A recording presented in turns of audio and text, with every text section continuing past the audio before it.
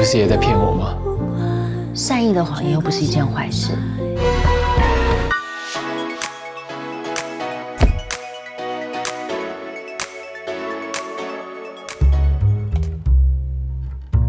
看艺术品很主观的，每个人都会有不同的感觉。有时候很当下，会直接反映你的心情。你会有你的感觉，我也有我的。我去。嗨，又见面了。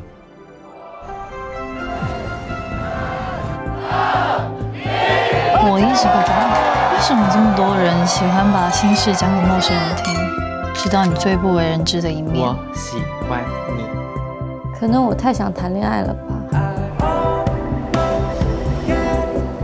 喜欢一个人或不喜欢一个人，都蛮简单的。那你要怎么判断一见钟情这件事？你不觉得他真的很可爱吗？就是想来谈恋爱啊。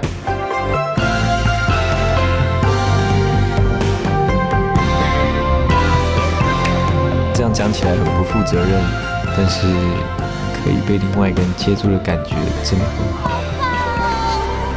但是在很多人面前，发现我们是一样的人。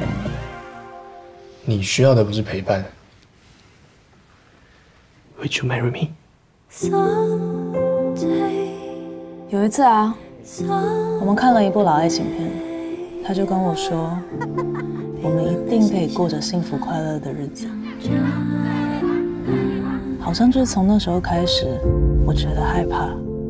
事情到最后都变得一团混乱。我不知道为什么我每一天都想要见到你。我们可不可以先相信现在就好了？